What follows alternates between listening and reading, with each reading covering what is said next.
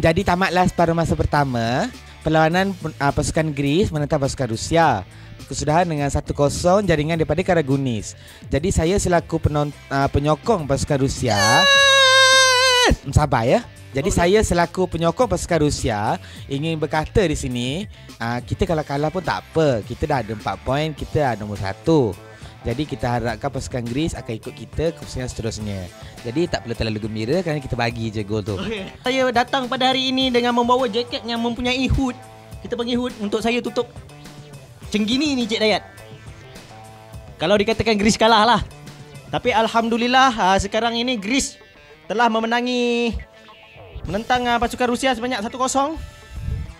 Jangan lupa mengundi kami di Maxis Be a Fan NTV 7. Hmm. Ya. Hmm. Ya. Eh, Bida. Ya. Hmm. Bila dia hmm. nak masuk ni? Hmm. Lamanya. Hmm. Eh, tak Lamanya. Hmm. hmm.